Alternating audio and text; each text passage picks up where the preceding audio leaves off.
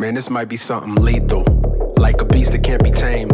This the kind of rage you can't contain. Man, like something lethal. Something lethal.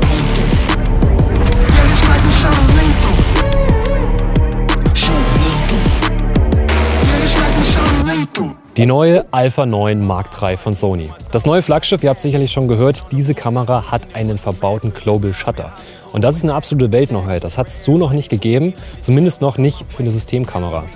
Wir können mit der Kamera Fotos machen und Videos in 4K 120 Frames und Fotos wohlgemerkt 120 Fotos die Sekunde. Also das müsst ihr euch mal reinziehen. Das ist eine absolute Maschine, perfekt für Sport und Wildlife-Fotografie.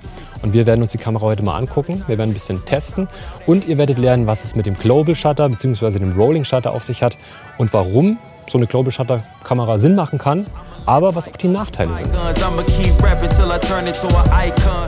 Haptisch liegt die Kamera super in der Hand. Wir haben hier ein leicht abgerundetes Design, wir haben eine Magnesium-Body, wir haben ganz viele Knöpfe, ganz viele Custom-Buttons, die wir uns frei belegen können und wir haben einen Flip-Out-Screen verbaut. Das heißt, wir haben ein Display, was wir komplett ausklappen können, neigen können, rausklappen können. Also wir können das in alle möglichen Richtungen verstellen. Wir hatten das erstmals bei der Sony Alpha 7 R Mark V und jetzt eben auch bei der Alpha 9 Mark III. Und das ist auf jeden Fall optisch oder haptisch gesehen eines meiner Lieblingsfeatures von dieser Kamera, weil es mir halt eben viele Möglichkeiten auch als Filmemacher ermöglicht, neue Perspektiven zu finden. Und äh, finde ich auf jeden Fall ein cooles Feature. Global Shutter, was hat es damit überhaupt auf sich? Also ihr kennt den Rolling Shutter, das ist das, was die Kamera bisher gemacht hat. Das heißt, das Bild wird zeilenweise von oben nach unten ausgelesen und das hat einige Nachteile, aber auch Vorteile. Die Nachteile sind, dass wir zeitversetzt quasi arbeiten. Also die obere Bildhälfte wird zuerst dargestellt, dann die untere als nächstes. Und gerade wenn wir schnelle Motive fotografieren oder auch filmen, kann es sein, dass wir solche JLO-Effekte haben. Das sind alles solche Sachen, die auftreten können. Ihr habt das sicherlich schon mal gesehen, gerade bei so Propellermaschinen oder bei einer Drohne zum Beispiel, wo sich der Propeller auch recht schnell bewegt. Da haben wir das Problem, dass bei einem Rolling Shutter solche Verkrümmungen auftreten. Das heißt, der Propeller verkrümmt sich und wird nicht so dargestellt, wie er eigentlich ist. Oder auch ein sehr schönes Beispiel, eine Autofelge von einem drehenden Rad. Da sieht man es auch ganz schön, ob man mit einem Global Shutter oder mit einem Rolling Shutter filmt. Gerade eben, wenn wir eine höhere Verschlusszeit nehmen oder in Slow Motion filmen, da hat man auch ganz oft diese Verwölbungseffekte. Und das können wir halt eben mit dem Global Shutter vermeiden, weil hier wird der Sensor instant, also komplett auf einmal ausgelesen und dementsprechend haben wir diese Effekte nicht, dass sich irgendwas verkrümmt oder verzerrt. Das ganze Bild wird immer komplett ausgelesen. Und das ist auch schon der Riesenvorteil von dem Global Shutter. Es gibt aber auch ein paar Nachteile. Und zwar ist der Global Shutter nicht ganz so lichtstark wie den Rolling Shutter und wir haben einen geringeren Dynamikumfang. Das sind so die zwei Nachteile, das muss man wissen und dementsprechend muss man auch für sich beurteilen, ist es mir wert, einen Global Shutter zu haben oder bleibe ich beim Rolling Shutter. Für den Heli hat das Budget leider nicht gereicht, aber wir haben jetzt mal die Drohne hochgelassen und da kann man ganz gut dieses Phänomen erkennen. Wenn ich jetzt mal meine Alpha 1 nehme, die halt eben den Rolling Shutter hat, dann sieht man ganz gut jetzt bei einer Verschlusszeit, die mit Absicht sehr kurz gewählt ist, also ein 6400 da sieht man diesen Cello-Effekt, also wie sich dieser Propeller verbiegt. Wenn ich jetzt mal den Global Shutter nehme von der Alpha 9, dann sieht man halt eben auch mit derselben Belichtung, was da passiert, denn da haben wir keine Verbiegung, da haben wir wirklich gerade Linien. Wir haben natürlich durch die schnelle Bewegung jetzt auch diesen, ich sag mal, Ghosting-Effekt, aber das Ganze sieht wesentlich ordentlicher aus als jetzt hier mit dem Rolling Shutter.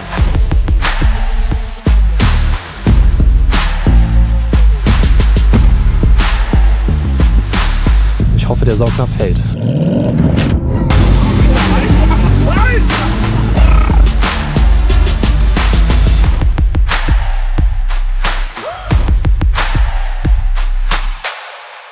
Bevor wir zu den Videospecs kommen, lasst uns mal ganz kurz über die Fotospecs reden. Ich hatte ja schon zu Beginn erwähnt, wir haben hier die Möglichkeit, in 120 Fotos die Sekunde zu fotografieren in RAW.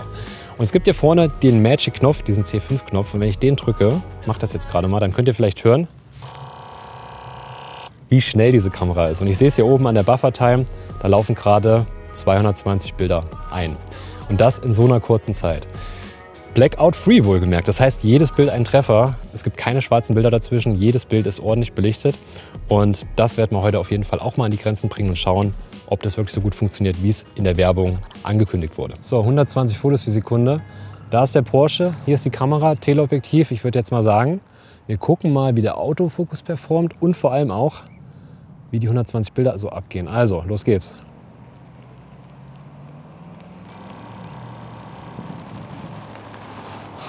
Alter, ich habe gerade 400 Bilder gemacht in zwei Sekunden oder so.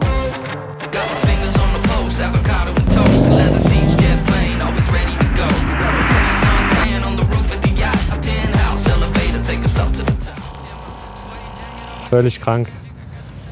Einmal durchgedrückt, 300 Fotos. Ah, Speicherkarte voll. Das ist natürlich der Nachteil, wenn du so hohe Daten schießt hier die ganze Zeit.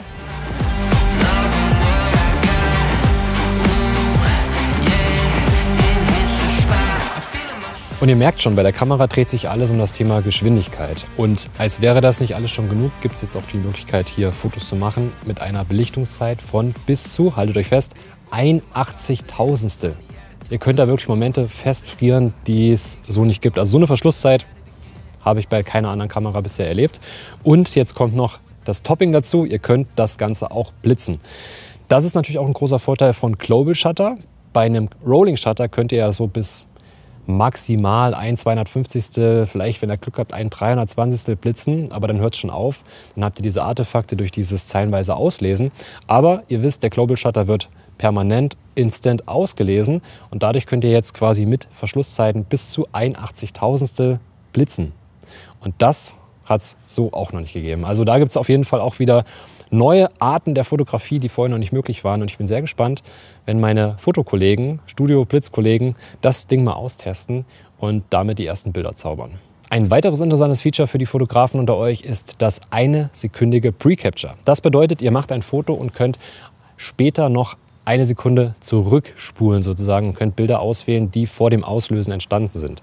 Und zwar eine Sekunde. Ist ganz praktisch, wenn ihr einen Moment verpasst habt oder wenn ihr Wildlife fotografiert und das Tier ein bisschen früher in den Frame kam, als ihr den Auslöser gedrückt habt, dann ist Pre-Capture auf jeden Fall euer Freund. Ihr kennt das vielleicht schon von der FX6, da gibt es das in der Videofunktion. Da nennt sich das Ganze Pre-Roll. Und hier haben wir das Ganze erstmalig jetzt auch für die Fotografie, nennt sich Pre-Capture. Ein weiterer großer Vorteil vom Global Shutter ist auf jeden Fall auch, dass ihr kein Problem mehr habt mit Banding und Flickering. Ihr kennt das, ihr seid auf einer Veranstaltung, da steht eine große Videowall, da sind Lichter angebracht und irgendwas flackert immer. Entweder ist es die Videowall oder die Lichter, die falsch eingestellt sind oder auf einer Frequenz laufen, die nicht mit der Kamera gematcht ist. Und das ist halt eben ein Problem von Rolling Shutter. Durch das zeilenweise Auslesen entstehen dann natürlich solche Artefakte. Aber wenn wir den Sensor auf einmal instant auslösen, wie jetzt hier mit dem Global Shutter, dann ist das eliminiert und wir haben kein Problem mehr mit Banding, Flickering. Und das finde ich persönlich auf jeden Fall einen Riesenvorteil. So, lass mal über Video reden. Das ist ja schließlich ein Filmemacher-Kanal und wir haben jetzt so viel über Foto geredet, aber das war auf jeden Fall auch sehr wichtig, weil die Fotofunktionen sind echt enorm und so weltneu, dass wir da einfach drüber reden mussten. Aber was kann die Kamera im Videobereich? Wir haben ja im Prinzip eine ähnliche Kamera, wie wir es auch mit der FX3 haben. Wir können hier in 4K 120 Bildern drehen, ohne Crop wohlgemerkt, in 10 Bit 4 zu 2. Das Ganze mit 600 Mbit die Sekunde und wie wir es schon kennen in S-Log 3 und S-Cinetone, also im Prinzip dieselben Funktionen, die wir auch haben in der FX3 oder der Alpha 1. Der einzige Vorteil ist, wir haben jetzt halt eben den Global Shutter verbaut. Hat aber auch, wie ich schon zu Beginn sagte, eins, zwei Nachteile. Wir haben hier eine deutlich höhere native ISO. Also die native ISO bei S-Log 3 liegt hier bei 2000. Das bringt natürlich so ein kleines Grundrauschen mit sich, aber ich hatte es schon erwähnt. Ich finde das Rauschen relativ angenehm, beziehungsweise ich nehme es gar nicht als Rauschen wahr, sondern eher so ein bisschen als Filmcrane. Und selbst im Lowlight-Bereich bei 25.600 ISO macht die Kamera noch einen sehr guten Job. Also man sieht natürlich, dass es rauscht und man sieht auch, dass es Lowlight ist und dass es nicht so gut ist wie eine A7S3. Aber für einen Global Shutter mit so einer hohen ISO war ich echt begeistert und habe das so nicht erwartet. Das sind Sachen, die muss man wissen und das sind halt eben auch die Nachteile von so einer Global Shutter Kamera. Also schlechtere Lowlight Performance und kleinerer Dynamikumfang. Trying to my story, is history. Now there's not a mystery. Stop without a hating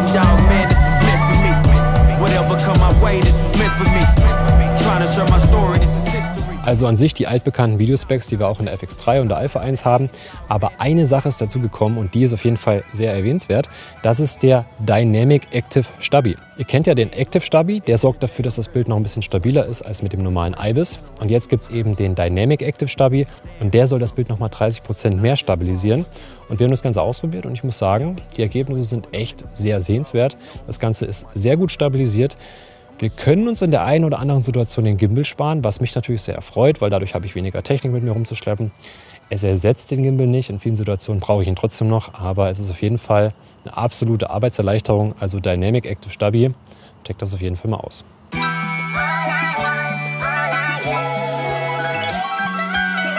Ob die Alpha 9 Mark III jetzt die richtige Kamera für dich ist, das musst du selber entscheiden. Es kommt halt wirklich darauf an, welche Art von Fotografie oder Videografie machst du. Und wir haben hier natürlich auch einen Preis, der relativ stolz ist. Also die Kamera kostet knapp 7000 Euro. Aber man muss auch wirklich sagen, das, was hier drinnen verbaut ist, gibt es so bei keinem anderen Hersteller.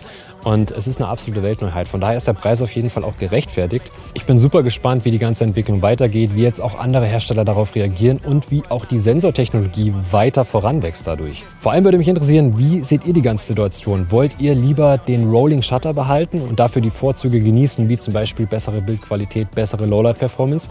Oder sagt ihr, Global Shutter ist the way to go, ab jetzt bitte nur noch Global Shutter? Lasst es mich gerne mal in den Kommentaren wissen. Und wer weiß, vielleicht liest ja der ein oder andere von Sony mit und your dream comes true. Also bis zum nächsten Mal.